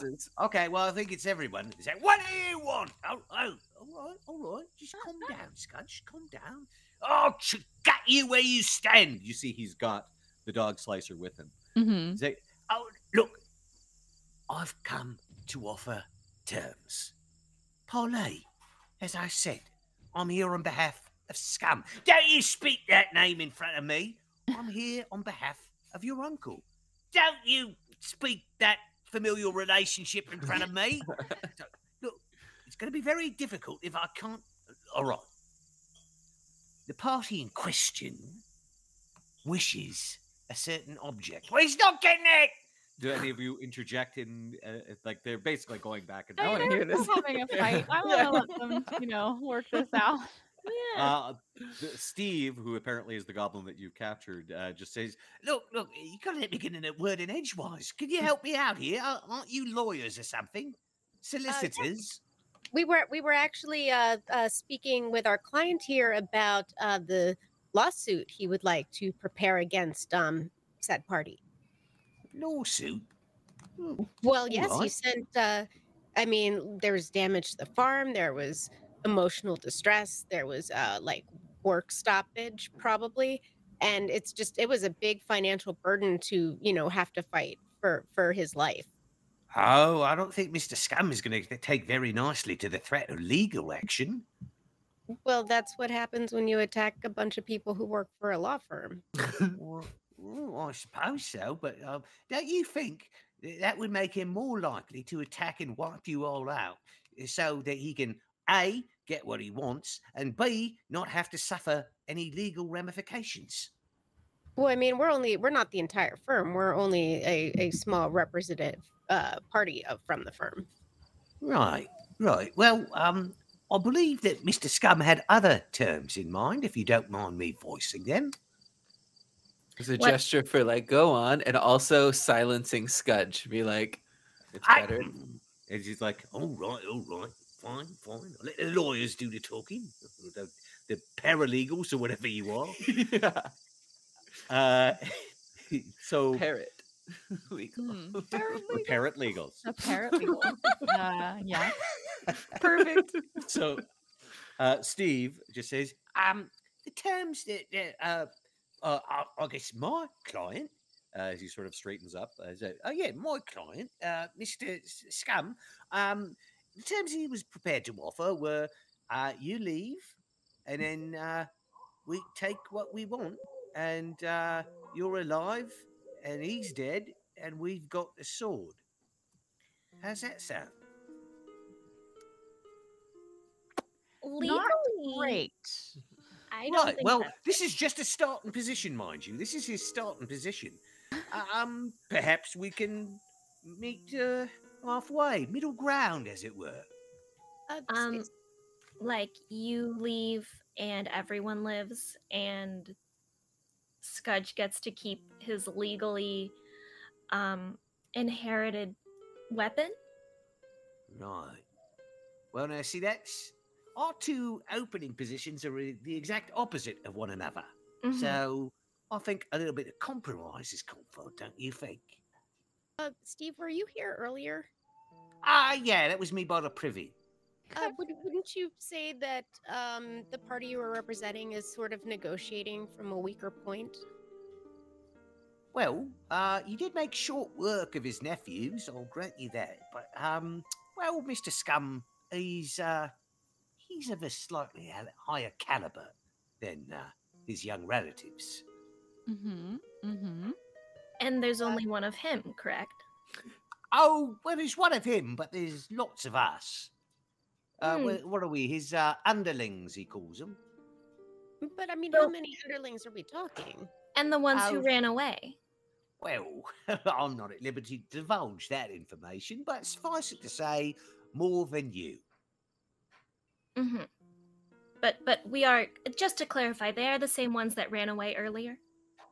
Uh, well, me, yes. Uh, not not uh, Scab. Uh, you killed him, um, and of course not uh, not Scorch or Snicked or Stronk. But the the underlings are the same ones who ran in fright from us. Oh yeah, a few of us, a few of us, but well, that wasn't all of us. That wasn't all of us. Okay. I'm just taking note. Mental I will note. say that we were quite scared of you, but we're more scared of Mister Scum. Hmm. What if we could offer you protection from Mr. Scum? Oh, well, I hadn't thought of that. What kind of protection are we talking? Mm, The, Well, oh yeah, sorry, go ahead. oh no, the same type of protection that we offered uh Scudge, I assume. What? There's like Well, a come- shuffle and a little piece of paper uh, coming out of uh, Cornette's robes, and it just says "Underling Union." Passes it over. Because Uh, yeah. I so yes. Give me who's who who is taking the lead on this. I'm, uh, and I can I can let people assist as well. But essentially, I'm going to make this a diplomacy role. I This assist pitch. intimidation. Diplomacy roll. I can do I've I can I'm I'm pretty diplomatic. Great. And I well. am holding a like a knife near around to this gentleman's throat. Like I'm not really in the discussion, so I, I don't think diplomacy is is what I'm using. I mean, but I we- am. Well, I you know I might like you might be able to do two different things. Like you're essentially trying to make an intimidate roll to Uh-huh. help the. It's good. It's the classic good cop bad cop. One is Uh-huh. using intimidation. One is using diplomacy. So. If you or or anyone else like Hortense or anyone as wants to be bad cop, uh, I would give you a DC twenty uh, intimidate that you would have to meet or beat. Uh, and if you succeed, then you would give a bonus to the diplomacy roll. And of course, if you critically succeed, you would give more of a bonus. I could try for intimidation because I feel like she's sort of already been talking that direction. Mhm. Sure. I mean, and if you want, like you mentioned, you've got a knife to the throat. You can go. I'm going to let you do bad cop, bad cop, good cop. So Mhm.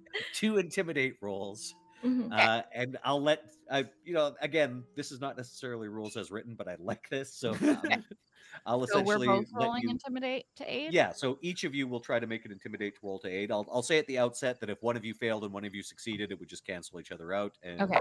uh, Calla Lilly would not have a bonus or a penalty. But uh, we'll. See. I mean, you might both critically fail. Who knows? Let's see how it goes. don't put that evil on me. you might both critically succeed. Is Uh, mine also a DC twenty? I only Uh, got a no, this is just for the assist. This is for Oh, the okay. Steve, I'll just put it this way. Uh, the goblin who is our client, who we're working with, is alive and unharmed. And all of the other goblins who, you know, came against him and tried to harm our client are either um, dead and some some like decapitated, so like super dead, or they ran away. So I mean, I think that our services kind of speak for themselves in terms of results. Uh, Right. Right. uh, Yeah. Yeah. At the mention of the dead goblins, you see like a little bead of sweat appear. uh, it's Uh, so a 17 though, so 17. So you did not make it, but that's just a normal failure. Okay. And I got a And what about- nine, so Mm. it was also Mm. a failure. and you're just like sort of like you notice that he's because he's engaged in conversation now he's kind of forgotten the knife is there so he's like he's just talking normally he's like looking away he might look back and realize it but he's and, not doing and that yeah, now. and maybe she like not really being very well versed and like maybe just like slowly pulls the knife away. Like I don't want to accidentally hurt this guy. I want it to be on purpose.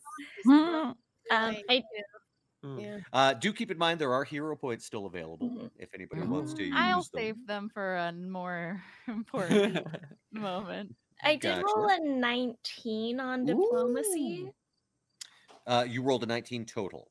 total. Okay, so uh, he looks intrigued by this and actually says, All right, so you're going to protect me from scum, is that it? Any of the underlings who would like Mhm. to, you know, come and don't you All want right, to all right, but- side? But the And thing is, you, you're going to leave eventually. Well, here's the thing. Can I come live with you? We'll have to ask our um, um guardians about that. But- But the offer's on the table. It, it's not a no. What if we remove the threat of this Mr. Scum? Mhm. Oh, well, I mean, that would be probably probably a good good way to protect me from him, wouldn't it? There there are five of us, right? And and there are if if we form that goblin union that um Cornette uh so uh, so smartly suggested, um that is a, a lot more than one scum. All right, all right. Well, I, I can't speak for the others, but uh, if you're willing to entertain the notion of me coming back to the city would live with you, that's where you came from, right? And I'll just get to live. I'll just get to be a recurring character, is that it? Steve. all right, all right. I, I'll, I'll get behind that. Yeah, all right. uh, and so uh, do you have make any other sort of offer? He's like, I mean, would there be any sort of uh, financial compensation uh, involved in this package? Could I might cre- create? Yeah, I'll do a roll with my lore scribing to actually make this like union document for like better pay and rest and like wages. okay. I mean, does, Okay. does Scum pay you at all? Oh, oh well, yeah, we get the, you know, we, it's it's more looting the bodies kind of thing. Um, not technically a salaried. Uh, I'm I'm more of a contractor, I suppose. Um, yeah. That means you don't have union protections. No, no healthcare. 23 for this document. Oh wow. Yeah, So, uh, I mean, you could basically do what you what you do have a knife in his throat, uh, even if you Right. Kind of didn't realize it for a second. So, if you want to take this inside and basically sit him down, and you drop this document, and he he does sign, he signs uh, signs on the dotted line. Uh, written into this document, he does sort of insist that uh, uh, he basically the, the terms he wants is that you will let him, you'll provide him with housing in Absalom uh, and board and lodging, essentially. Uh, and if you're unable to provide it at uh, the firm's uh, facilities, that you'll pay essentially, he'll get a per diem to stay at an inn. okay. Oh my god. Uh, is So there yeah, a- that's I, I feel like there should be a clause in there that we will also try to find employment for him either at the firm or elsewhere. So he is, he will be, you know, But earning. also opportunities for Steve could be running this whole operation. We have a union Mhm. leader. Mm. Mhm. Oh, should Uh, we make s- pamphlets for him? Definitely. so you start doing the rough draft of the, of the pamphlets uh and uh, so this is this is taking a while is anybody doing anything as has everyone just come in to look at this contract session or is everybody else uh are you taking up posts what's going on Um, Violette will be kind of like looking around to see if there is because last time she saw three goblins, there were significantly more goblins than 3 Mhm. goblins. So she just kind of wants to see if there's anyone else like approaching or like hiding in the shadows or doing anything unsavory, you know. very well uh so let me just make some Uh, was Pegasi still outside too? i assume yes Yep. okay. Mm-hmm. So we got Pegasi and Vi- Violette outside. The other three are inside. Well, it clearly wasn't Steve this time because he's inside. But yeah, there's Oh. you do hear the snap of a twig as clearly uh, someone is trying to be surreptitious and has not succeeded. Um, yeah, Violette will like just toss her dagger through the air and be like, "No use hiding." Uh, and yeah, rather noisily, a couple of goblins sort of peer out under the uh, from the underbrush, and you do see at the back of them hmm a rather large goblin. Okay. And I say, I assume you heard the discussion being had. Say, discussion. I haven't heard nothing about no discussion, my dear. All I know is a messenger that I was sent to parlay was taken captive. So that's a no on the discussion. I, he, he consented to going inside. Okay, there was no captive taking. Ah, she's lying. We saw him put a knife to his throat, and then, then, then a whole bunch of them came out and they took him into the house. Your Wow. brother was there too. I mean, that all is true, yes, but eventually it was consensual. What? Eventually, it was consensual. That is don't- a sentence anyone should ever utter. Uh, uh well, I, I'm not really good at the talking part. Uh, I'm great at the Clearly not. part. Oh, so I assume my terms were rejected then. Those terms were leave and let us kill uh Scudge. Yeah, that was my opening position. That's right. Yeah, that was rejected. Yes. I didn't say I didn't have wiggle room. Well, Uh, what's, were the other terms let us kill you too? I- I don't think I would have ever agreed to those terms. No. Okay. Um, those are pretty much the only terms that I understand. what was the counteroffer? What was the counteroffer? uh, All she I know probably, is like these looked- two. These two said they were observing Steve. He came up. He was parlaying with uh, that uh, tree. Is that a tree or something? And they were talking. And then you came out. You put a knife to his throat. And then they all came out. And then you all took him into the house. Yeah. Yep, that's actually what happened. Mm-hmm. Well, well, that's where I'm at. So I don't know what anything about any counter offers or nothing. What was your counter offer? Like she probably like like I don't know if the the paper is like crumpled on the ground or like it's like she- still has. You know, it or some- I'm I'm gonna say with that roll that uh, Cornette actually made.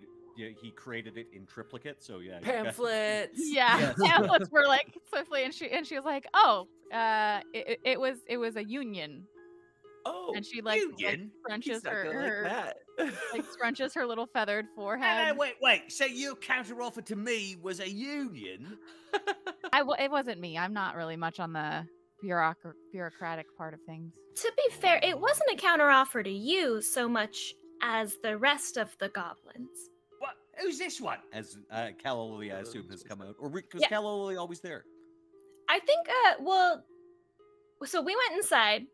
You, yeah, basically, there are folks inside. There's like lots of contract discussions going on right now. But I can say Calla Lilly, you know, Brett was just like, eh, this is boring, and kind of wandered outside, and then oh, another goblin.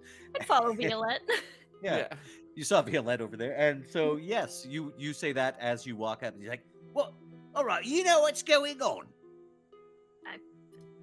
uh, in terms of the contract or the No, no, no, not what contract. What contract? the the union? I gave you an ultimatum. Did did you? I don't think you set any timeline, sir. I. I, I mean, it was inferred it's by dawn. It's always by dawn, isn't it? Well, you should have said it was by dawn. Farmhouse surrounded at night. You get an ultimatum. Of course, it's going to be by dawn. I hate Mm. working for lawyers. Can I also do a perception check with my dark vision to see if I see any other goblins aside from the ones that came out? yeah, sure, go ahead. Actually, at this point, because it's it's just turned into conversation, you notice like a bunch of goblin heads are starting to sort of poke up here and there. Oh. Uh, some of them are just sort of like you know they're they're holding bows, but they've got them at their side. They're just kind of like wandering out into Mhm. into the open. Violette is like, very. All right, get back where you were. Get back where you were. All Well, it was an 18. Yeah, there's there's at least a dozen goblins besides him. Mm. Mm, And there may be more who are actually following orders and staying hidden. mm. And and Calla Lilly will say this kind of louder, uh, so the other goblins hear. Like, I know that um, you know, you pose a very intimidating uh, uh, figure above the other goblins that have come with you, but um, if if you know, I know this isn't exactly what you wanted, Mister Scum, but um, with the Goblin Union, uh, we could offer some sort of uh, protection. Goblin Union. Goblin Union, she says. Yeah. Uh, if you want to extol the virtues of said union, like all these other goblins are in earshot, he, of course, you know, doesn't receive any. You know, this doesn't benefit him in the slightest. But I'd No. say you can make a diplomacy roll for the other goblins within earshot. I'm gonna use a hero point because that was a nine. Um, Okay. You give an impassioned union speech. Rise up. okay, that was uh that was better. That's a twenty-one.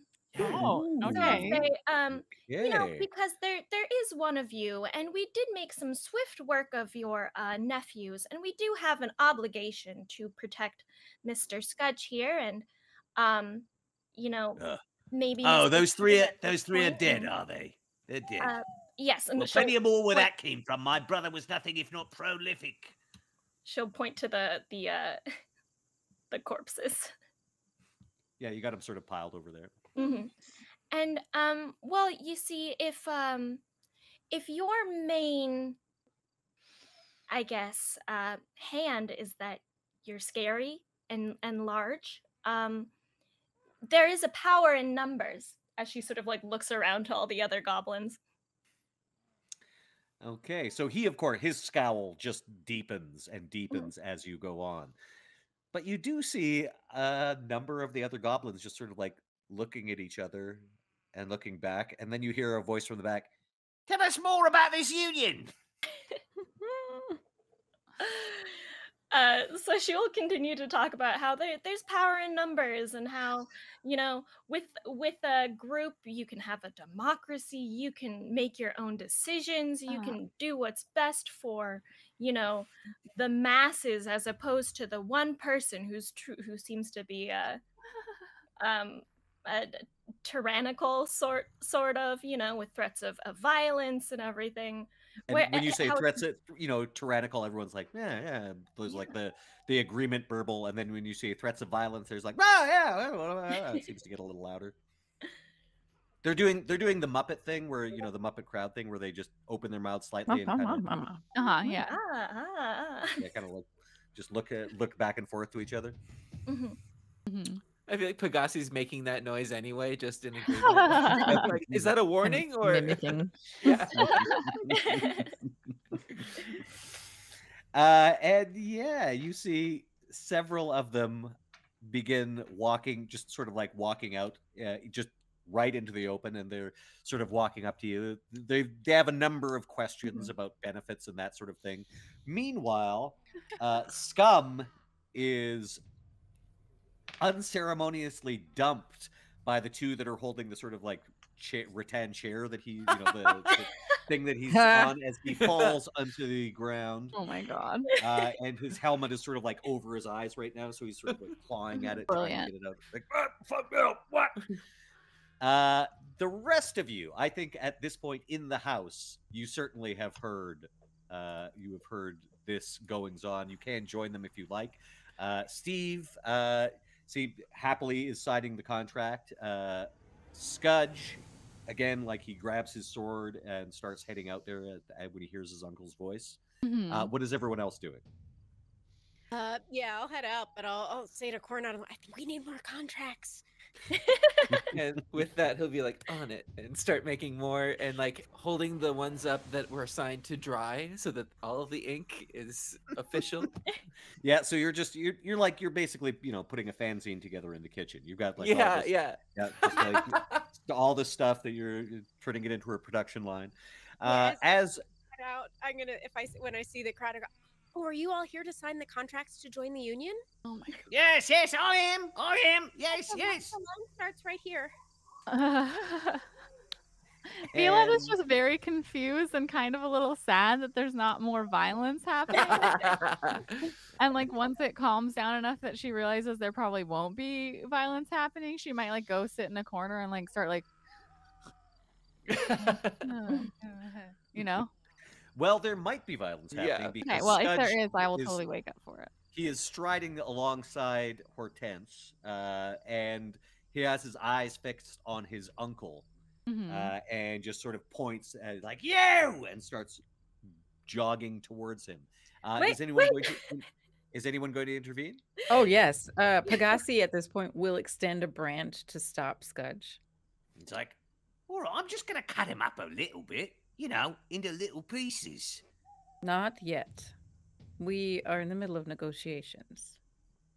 Uh, negotiate. Wow.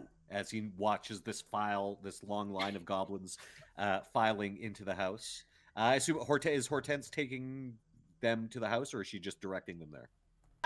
I think I'll stay by the house, but in like, it, like if thing, it's still in like crossbow range if things get bad. But um, Okay. yeah, I'm directing like, oh, uh, line up here, single file. Um, yeah, we should have. Uh, you know, we're we're getting the contracts out as quickly as we can. Um, yes. I do have a quick question. Um, Mhm. how long were we asleep for? oh yeah, did we get any spells back? Oh, you did not get a full No. night's sleep. No, you got a couple of hours. It was like sundown. This is probably around midnight, so like eh, maybe four hours later. Okay. Yeah, and, th- and I think we've established this is in the summertime. So yeah, Mm. Mhm. Pegasi will, uh, in addition to keeping that branch over in front of Scudge to keep him from moving forward, uh, Pegasi will now use their other branch to, to mount the the bomb launcher and load up the alchemist fire and just have it ready, pointed at Uncle Scum. and so yeah, he uh, Scudge, you know, he does he he doesn't attempt to push past you because he's like, he's going, all right, all right, I'm your client. Uh, then he notices you load up the bomb, and he's like, yeah, yeah, go on, go on. Uh, he seems quite entertained at the thought of his uncle burning to death. Like, it's like, Oh, that'll be better. Yeah, much better. uh, meanwhile, uh, Scum is sort of like scrambling to his feet and moving his helmet, uh, and he's screaming at the uh, departing backs of the other goblins.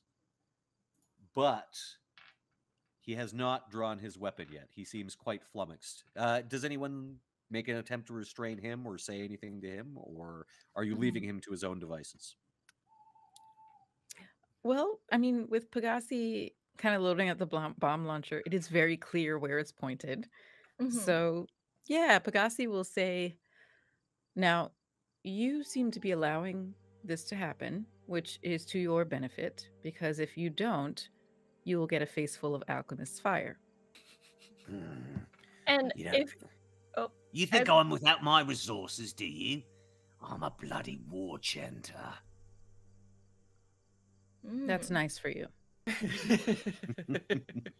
you know if if you choose to continue to um you know uh, stand up against us you may also find yourself with a little bit of um acid reflux and the and Sh- shimmer will just sort of like float above looking at him menacingly if we're doing intimidation i would like to aid i'm just saying Mm. I'm Okay. horrible at intimidation, but let's do it. Let's try it. Let's try it. Why not? You know, and I- I'll say Shimmer can even do like a little, without expending her breath weapon, do like a little spit of acid onto the ground, like. Uh, so yeah. So first of all, uh, I would like you to make an intimidate roll, please, Calla Lilly. oh i'm doing intimidation Uh, well, you're you're go- if you're going to aid, you'll need to make a DC 20, and if you make it, then there'll be a bonus. it's a 17 Oh. Oh, okay, all right, but That's good, right? It Uh, well, Oh, it didn't make the DC 20 to, for the Yeah. aid action. But do you want to try that to intimidate? Yeah, yeah. Very well. Okay. Come on. Big money, big money. No whammies. No, no. Whammies. That's a nine on the die. Minus Whammy. one. It's an eight. oh no Oh. Ah, He does not seem intimidated. He does seem angry. However, he is real. I'm I'm realizing that a lot of his spells are great if you're leading a bunch of people, like higher your courage, and uh, you know he's got a couple of things he could use, but like he's alone now, so he I will say he say does in- pull his blade though. as he realizes how alone he is, there is a sort of like a raucous laughter coming from the house as Cornette has started to hand out beers along with signed contracts. Oh, and These goblins seem to love this beer. They think it's great. It's very much Exactly. like after yeah. church coffee and donuts, but with beer. Right. yeah, Yeah. they're all, "Ah!" You hear these this chant.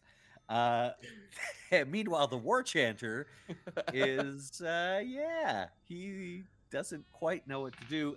At which point, Scudge, who is standing by your side, Pegasi, just goes, You're too late, Uncle. I know what you came for. and he holds up the sword and reaches up to the pommel and unscrews it and pulls for and as he pulls it forth the little bit of the end of the pommel comes forth you can see it's a key He's like, oh. This is what you were after, isn't it? Well, I'm afraid it's too late. I know all about it. And unless you think you can take all of these fine heroes and me, and who knows, maybe your own men, I'd hightail it. and the war chanter let's see he is actually quite intimidating when he says this and scum just says This isn't over. Oh, but it is, Uncle. I think you'll find it is. And once I use this key, well, I don't think my financial situation's going to prevent me from hiring as many mercenaries as it takes. Maybe the ones you've trained yourself. These here goblins. But I'm going to allow unionization under my watch. Fine. There'll be a reckoning, boy. One day. There... Yeah, yeah, yeah, yeah. Tell it to the judge. That's a legal thing, right? Right? Yeah. I don't think this applies because he's not actually undergoing criminal charge. All right, it's fine. uh, as you hear muttering, and even those of you with dark vision can't see that far before Scum slips away into the dark. And Scudge turns back to all of you. Well, I have to say, I'm impressed. Managing to end that without bloodshed. Mind you, it's kind of a negative as far as I'm concerned. Still, I think it's a fate worse than death. A war chanter with no one to follow him. the irony! Tell me, what do I owe you for this further service? Oh, Uh, I have not discussed rate with my colleagues. Um, gi- gi- give us a moment. so she'll she'll go gather everyone. Do we know what that key is for? Maybe we should just ask for a percentage Mm. of what we helped him recover. Then that's that's how billing usually works, right? Very, Oh, very law- lawyerly, uh, Cornette will take another piece of parchment and write like 10%, fold it in half, and slide the number over, like tapping it. Uh, so, oh, are you doing this to Towards Scudge? Scudge, yeah. Okay. He's like, he's like, "Mm," he sort of crosses it out. He slides back a one percent.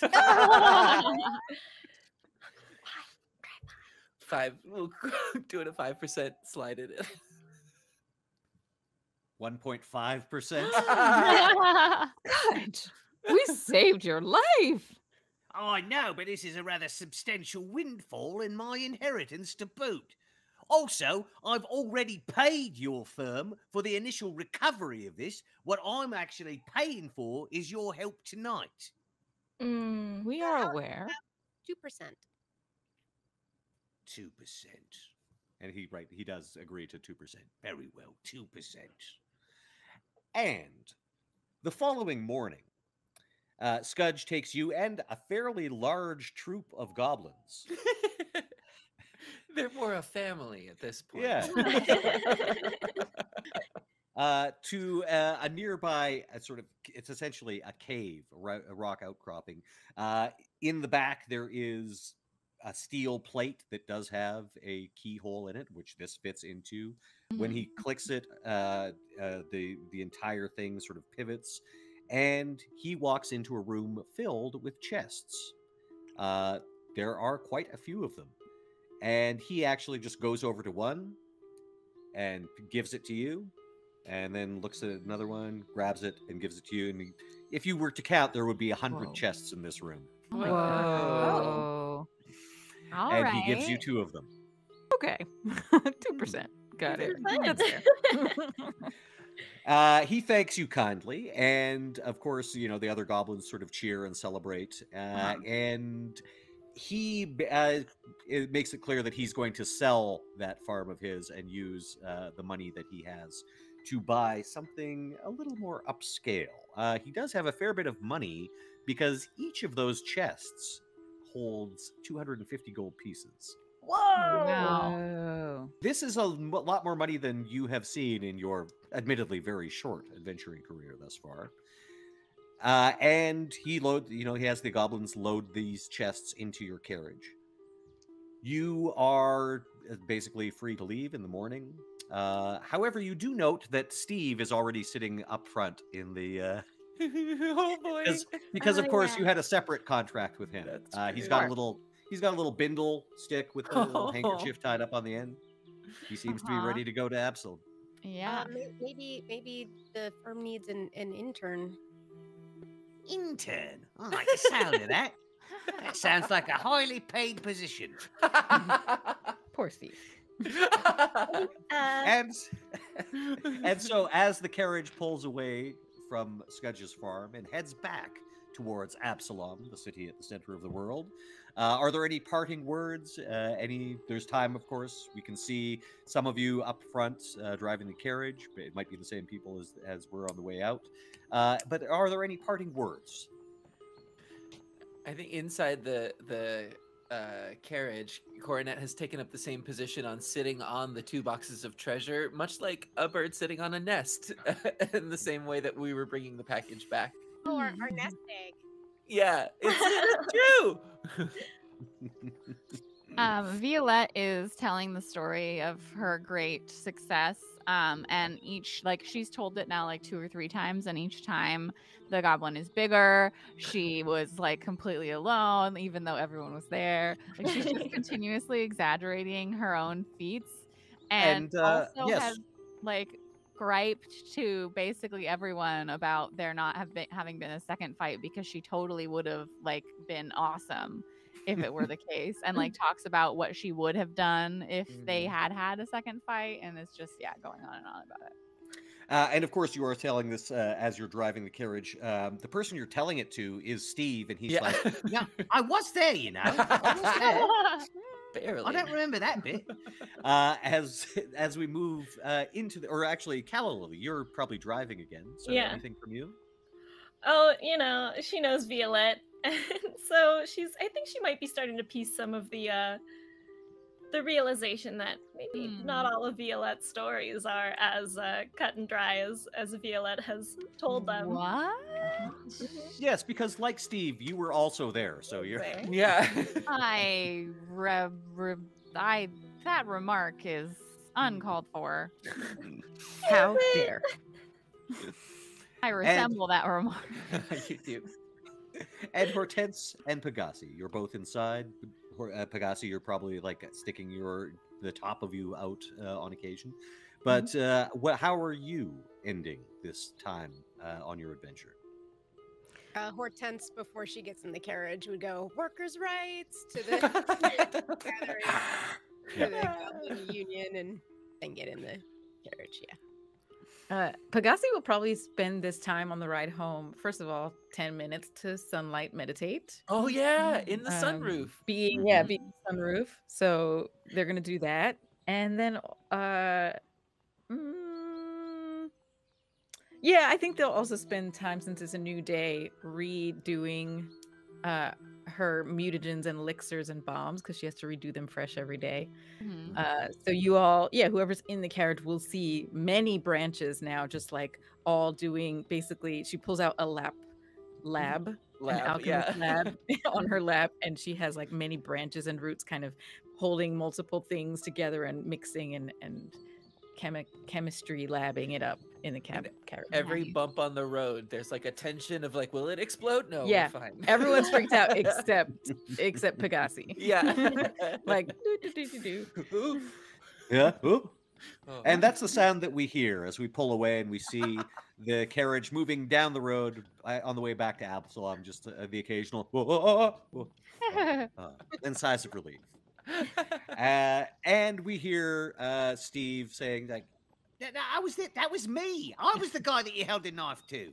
as we depart and leave these characters until we see them next time on the Clawford, Feather, Whisker, and Horn. I've been your game master, Mark Meer. Thank you very much. See you next time.